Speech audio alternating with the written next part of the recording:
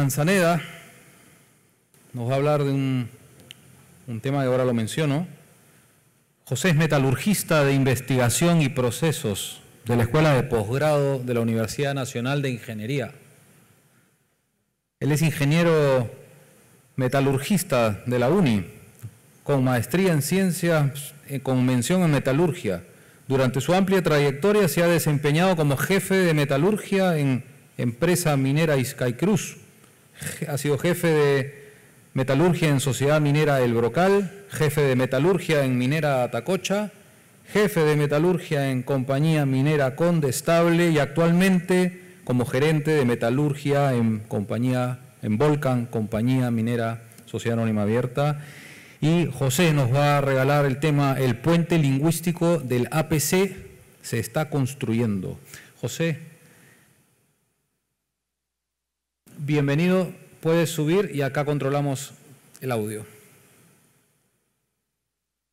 Lo recibimos con un fuerte y caluroso aplauso. Bienvenido, José.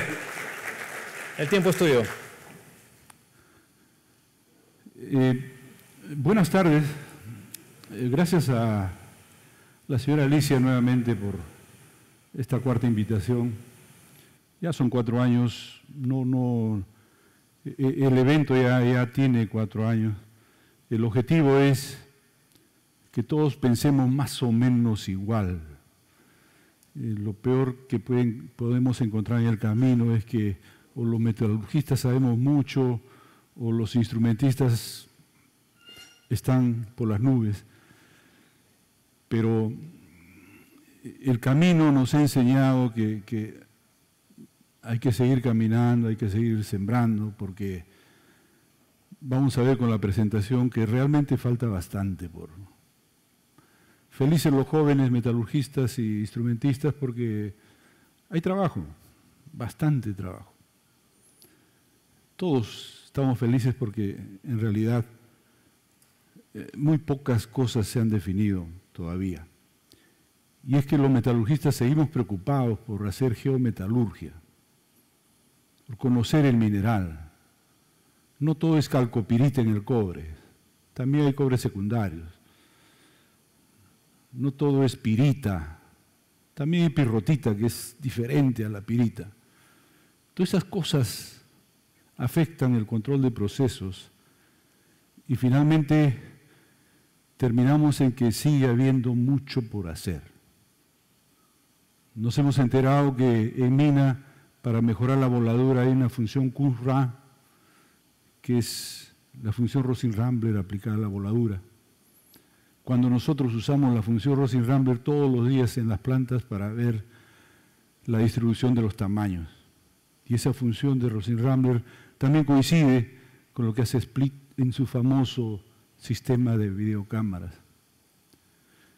El camino es bueno, por eso es que es realmente un placer estar acá en la tribuna y agradecer nuevamente a, los organizadores, porque eh, todavía faltan muchos eventos más, es seguro que vamos a seguir avanzando.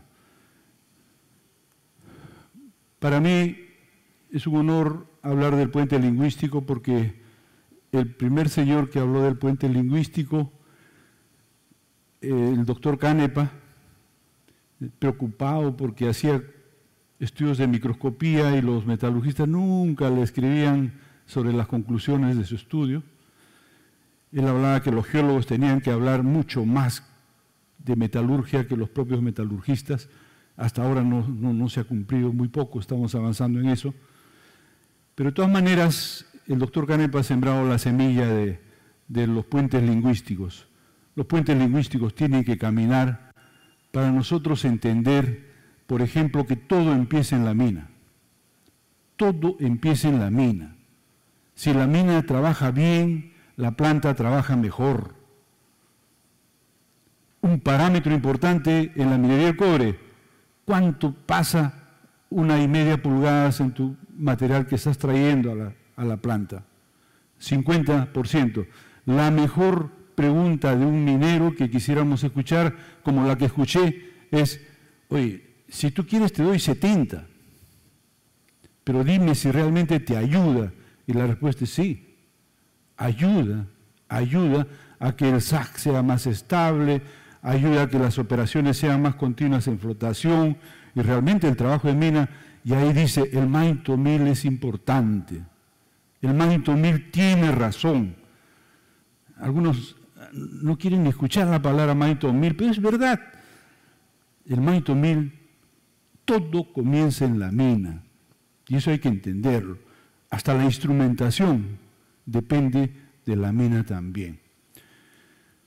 Porque el peor evento que puede llegar a una planta es el descontrol que estamos viendo ahí en el tamaño granulométrico alimentado a la planta. Los bancos grandes, todo descontrolado. Ahora felizmente, antes no se podía hacer, ahora ya tenemos el sistema que hace análisis granulométrico por videocámaras. Y estas cosas ya no pasarán. Pero estar sentado en una sala de control no siempre es suficiente. Es bueno, sí, no hay otra opción, porque las celdas, los molinos se crecieron tanto que ahora el operador, el único, el único lugar que tiene para refugiarse es la sala de control. Y entra a la sala de control y mira ahí el serruchito ese de, de la información que le está llegando y ni bien entiende algo, baja y quiere corregir como sea. Esa es la situación, es el estado. No todo está en automático, no todo está resuelto. Yo creo que mejor porque los minerales cambian, la metalurgia cambia y en realidad todos vamos a terminar trabajando y haciendo todo el esfuerzo posible por mejorar. Yo les decía que caracterizar los minerales era importante. Es importante porque el objetivo general de una planta es quien... Hay una palabrita, es la primera que me enseñaron cuando yo conocí una mina de cobre grande. Es el Trojpud. ¿Qué es el Trojpud? No, ya es el Trojpud, es el Trojpud. Y al final yo entendí que el Trojpud era mantener la capacidad de la planta, el tonelaje. El mejor Trojpud es si yo tengo 90 eh, una planta de 90 mil toneladas por día, el que hace Trojpud de 100 mil es el rey. Es el bendito Trojpud, es la capacidad que puedo establemente pasar para, y siempre tiene que ser bueno, porque alguien baja el Trojpud, finalmente termina fuera de la planta, ¿no? Entonces, pero pocos, pocos caracterizamos, pocos usamos, digamos, cómo será la calidad del cobre que estamos trabajando, qué, tipo será tan limpio como que calcopirita y cobre secundarios, o tendrá algunas complicaciones con el zinc. Si al final el zinc resulta manejando la flotación del cobre, mejor sepáralo en un, en un montón aparte, eso lo pasamos en otra época. Pero finalmente pocos caracterizamos por microscopía óptica. Ahora estamos muy apurados también pero entrando poco a caracterizar por la microscopía de barrido. Resulta que ya el problema no son los sulfuros, ahora el problema son las gangas. O sea, ¿cómo explico yo que hay un mineral que consume dos kilos de cal por tonelada en una planta grandaza, inmensa, para flotar el cobre, y hay otro mineral que con medio kilo por tonelada de cal flota bien? ¿Cómo explico yo todas esas circunstancias si no he estudiado la parte gangas, la parte rocas? Pero casi todos sabemos que el supergeno es complicado, que el hipógeno es más fácil porque tiene calcopirita, pero pocos hemos trabajado sobre caracterizar las gangas. Poco que le creemos al geólogo lo que nos dice, mira, esto tiene más, más eh, calcitas, etcétera, eh, más cuarzo, pero pocos nos hemos juntado un equipo de geometalurgia para analizar realmente los problemas. Entonces, señores, caracterizar la mina es un tema verdaderamente importante. Pero como yo le dije en el, primer evento de, y dentro de la organización, decía, oye, pero trae ejemplos. Bueno, vamos a mostrar un ejemplo chiquito de cómo es que se puede hablar de geometalurgia pero mezclando minerales. Se ha encontrado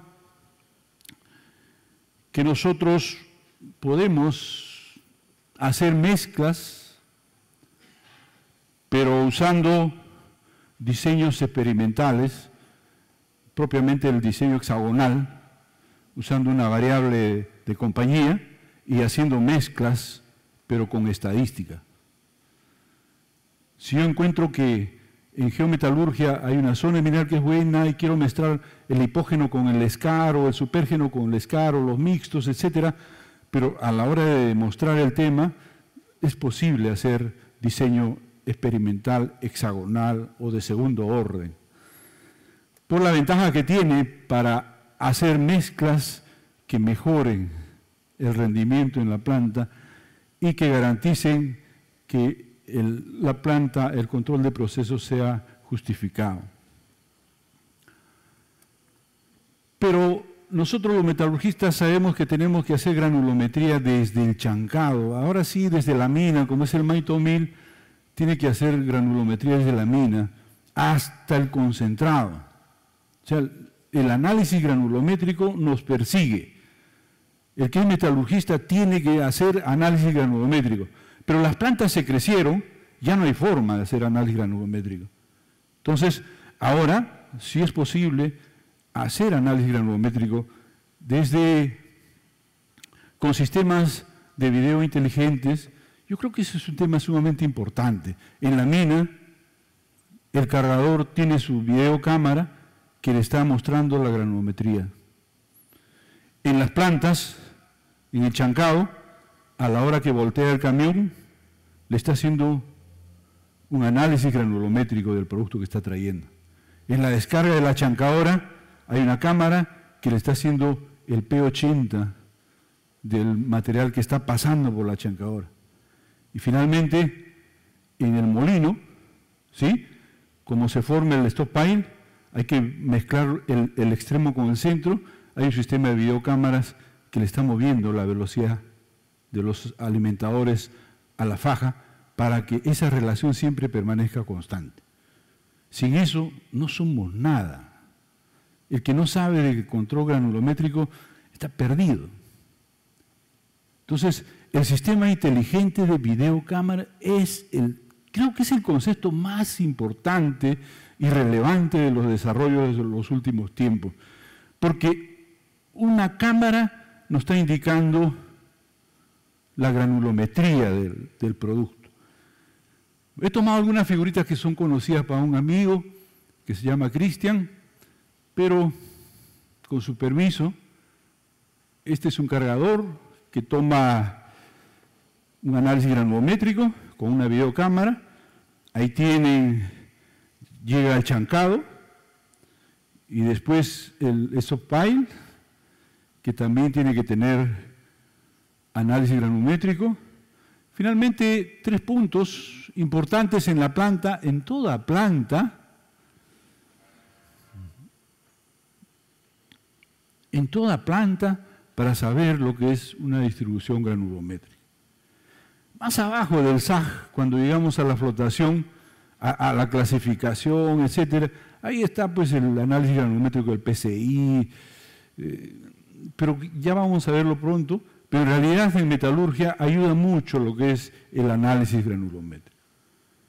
Es imposible que yo pueda manejar un SAG sin controlar el tamaño del producto alimentado, por más experto que tenga.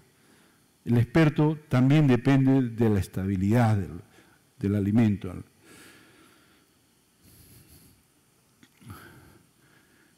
Pero como era el compromiso, sí, pero ¿qué hiciste alrededor de las videocámaras? Vamos a mostrarles que es verdad, cuando las videocámaras mostraron un, análisis, se le hizo una comprobación. Esta es una forma de análisis con funciones como que nosotros conocemos, Godin Schumann, Rossi Rambler, de distribución, cuando las plantas eran chiquitas.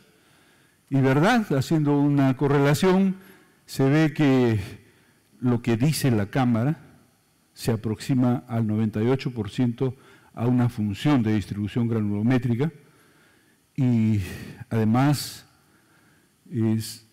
por debajo de, se puede colocar nuestro objetivo una pulgada y media y finalmente se encuentra que 47% está debajo de una pulgada. O sea, la cámara estaba registrando realmente el tamaño que nosotros estábamos alimentando al molino Saje en este caso.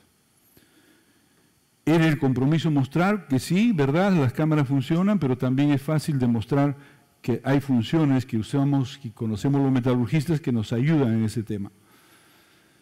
Y el molino Sag, el molino Sag, el bendito, está la palabra troput, eh, el molino Sag depende mucho se haga, de lo que se haga en, en, la mina y el tamaño del mineral alimentado.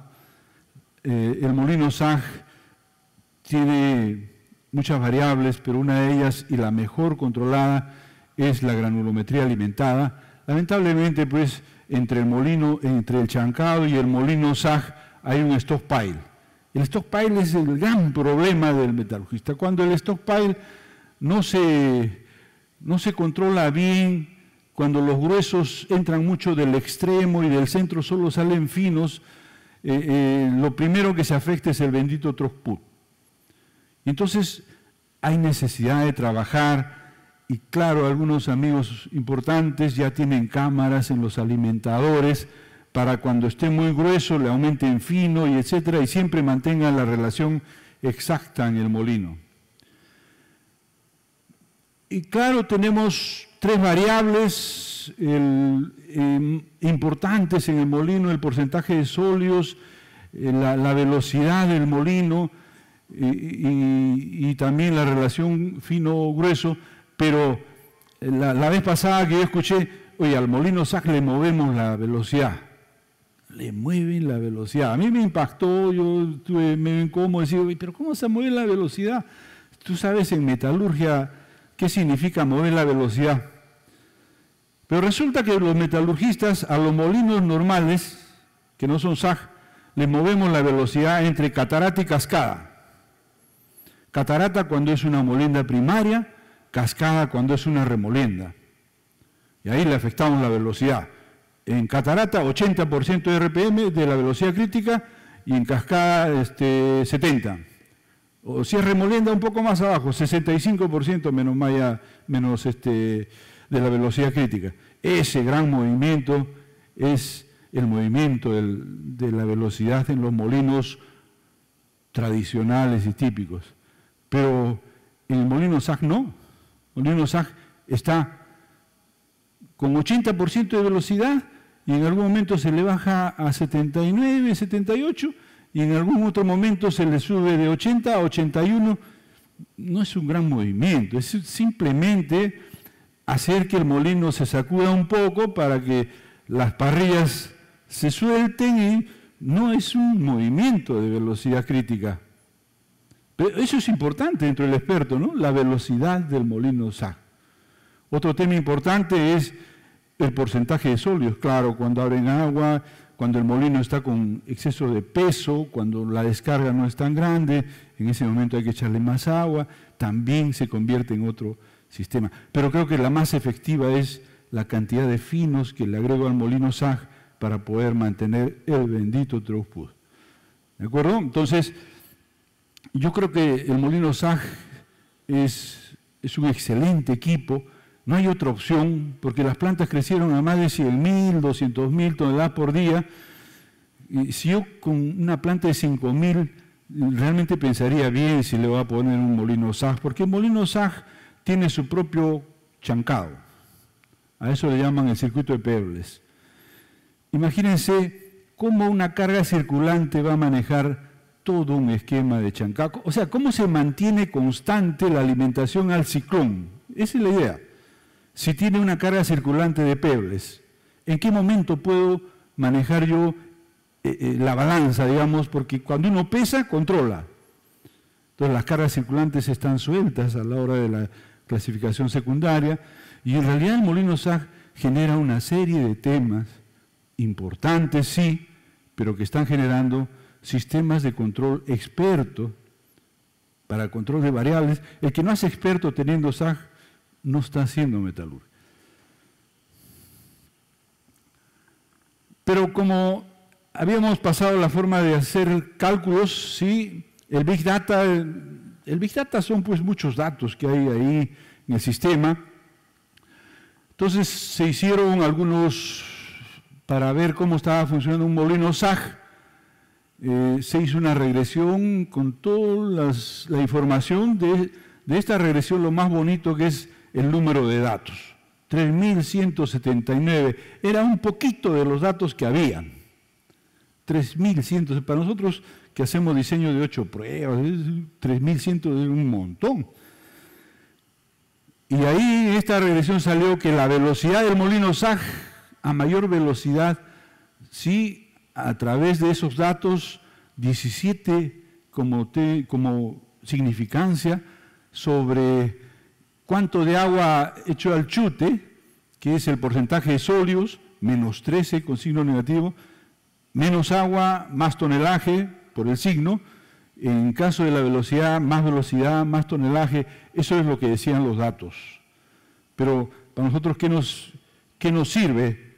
Nos sirve realmente el hecho de hacer estadística, hacer regresiones y verificar si realmente lo que los datos dicen es real. Pero la molinda secundaria es todo un tema. La molinda secundaria aparecieron los ciclones. Como no tengo un ciclón inmenso, antes yo trabajaba con un ciclón chico, pequeño, y mi problema era el apex del vortex, ahora son varios y distribuidos radialmente. ¿Cómo hago para controlarlo? Es todo un mundo, es todo un mundo. Este nido de ciclones no está controlado. Eh, no hay forma de predecir cómo trabaja cada uno de ellos. La descarga está a un molino secundario. El problema principal es que como acá hay un circuito de pebles, no se sabe qué cantidad está entrando acá. Finalmente se establece que la presión del ciclón tiene que ser el parámetro de control. Le dan un rango de presión acá y de acuerdo a eso la velocidad de la bomba, el seguimiento al molino secundario, cantidad de agua, mantener el porcentaje de sólidos acá, pero finalmente el controlador del producto que está yendo a la flotación no controla esa parte. yo, yo no entiendo cómo este controlador que tiene una sola entrada puede interpretar todo lo que está haciendo un sistema experto en la molina secundaria bien difícil, bien difícil. Por eso que nuestros amigos de están trabajando alrededor de cómo hacer que el sonido, el sonido en la descarga del ciclón nos indique un análisis granulométrico. El trabajo de Bulco, el trabajo de Sidra, el trabajo de mis amigos de, Alpamarca, por ejemplo, ahí lo veo al instrumentista de Alpamarca, un gran amigo la vez pasada en la reunión dice, oye, ¿están haciendo ustedes algo de eso? Sí, me dijeron, el metalurgista se paró, dijo, yo estoy haciendo ya la regresión porque el instrumentista me ha indicado cómo es el sonido respecto del análisis aerométrico. En Alpamarca, una mina pequeña de volcán, están haciendo el gran trabajo este que Sidra también tiene desarrollado en la gran minería, que Bulco también está trabajando, pero es decir, hay gente que está trabajando alrededor de cómo resolver el tema en los nidos de ciclones. Y no hay otra forma porque el, ciclón máximo es de 33 pulgadas y realmente para el volumen que están pasando en realidad tiene que haber 6 o 7 y eso es difícil. Imagínense que eso va a ser peor. Ahora, claro, los, los ciclones tienen sensores, eso es un intento bueno, pero imagínense ¿Cómo va a pasar cuando este circuito secundario tenga dos o tres molinos secundarios? O sea, ¿cómo, cómo voy a distribuir las cargas de acá de arenas? Y finalmente, más complicado, cuando aparezca dos molinos SAG para un circuito de cuatro o tres molinos secundarios. Entonces, lo que estamos haciendo es un verdadero esfuerzo de control, un gran esfuerzo de control, pero yo creo, como dice acá el comentario, todavía falta la versión final. No creo que todo esté hecho, todavía hay que seguir trabajando y felizmente tenemos bastante trabajo por delante. El sistema experto de flotación, el sistema experto de flotación, cámaras, enviando señales de flujo de aire ingresando y el dardo de la descarga, ¿está bien? la señal de la cámara ubica la estabilidad de la espuma, la velocidad de salida, estabilidad de la espuma, tamaño, lo que ustedes quieran. ¿Está bien? Lo que ustedes quieran. Pero eso es estabilidad. Pero en, metalurgia hay minerales que flotan bonito, pero su relave está altísimo. Entonces, también está, es importante que el analizador en línea esté amarrado a la espuma Raffer o al relave también, y el sistema experto tiene que incluir el análisis y la dosificación de reactivos y el análisis de los productos que se van en la burbuja Raffer, que se va a la remolienda, o en el relave también. Entonces, no todo está en cámaras, porque también la calidad de la espuma es buena, el analizador en línea es importante, porque ¿quién más nos va a ayudar con leyes en, plantas inmensas o en flotación en general? Y los dosificadores de reactivos. Yo no sé, es un problema, porque nosotros que trabajamos en plantas chicas resolvemos el problema de dosificación de reactivos muy fácil. Pero a la hora que sea una planta grande, es imposible, no es difícil, no es fácil echar reactivos. Está complicado el tema. Y lo peor todavía, eh, cuando uno flota en celdas chicas, tiene que echar reactivos en, en, todas las etapas, en el escabe, en la... Resulta que las celdas grandes, inmensas, no tienen por dónde echar un reactivo. No tienen por dónde, no, tienen un tubo que, vaya hasta el fondo, que lo distribuya. Finalmente, si quiero echar reactivo a medio camino, estoy complicado. Y tengo que echar reactivos en el molino, donde para llegar hasta la otra flotación será pues más de 30 minutos. No lo hago, no lo hago, ¿no es cierto? Entonces todavía hay un tema pendiente ahí, hay un tema bonito de, parte, de, creo, de mi amigo, el ingeniero de SN, que tiene un sistema para echar reactivos con válvula de presión y en vez de que la caiga por gravedad en el piso, echando reactivos a cualquier punto, a cualquier celda. Ese es un tema importante a la hora de trabajar en las plantas con expertos de flotación.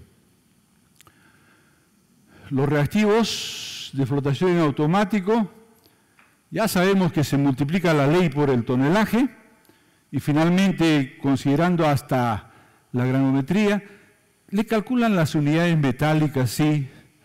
Ahora hay un nuevo concepto, claro, puede ser poco tonelaje, pero alta ley, o al revés, bastante tonelaje y baja ley da lo mismo.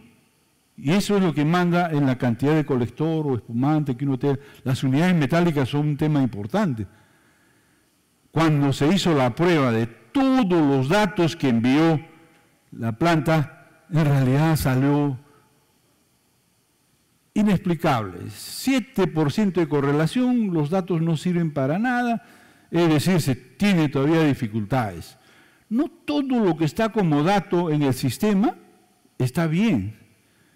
La parte humana es la que finalmente maneja la dosificación de reactivos y a veces el operador solo funciona con las leyes y nunca con las unidades metálicas.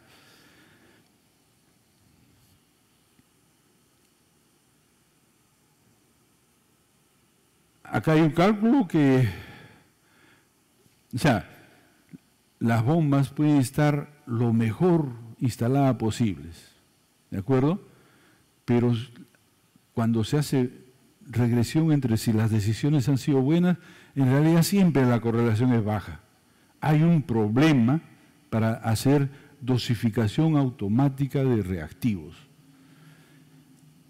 Yo no creo que sea tan fácil echar reactivos, por eso que estamos, me gusta usar este arbolito de, yo creo que estamos acá, echando reactivos por intuición. Falta, falta un buen trabajo todavía.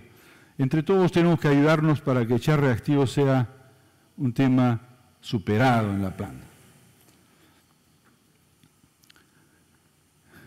Las aguas de relave para nosotros, o sea, el que no administra aguas de relave no hace nada, el bendito Trospud manda, el que no recupera rápido las aguas de relave va a perder Trospud rapidito, entonces el relave se ha convertido en el punto más importante de todas las plantas. Pero, pero es importante que el torque tenga relación con el flujómetro. Tengo que saber cuánto entra para el control del nivel de espuma de cama, pero finalmente depende de un floculante. O sea, yo puedo tener todo el desarrollo del sistema, pero si el floculante falla, no tengo nada. Esa es la realidad. Entonces, el floculante,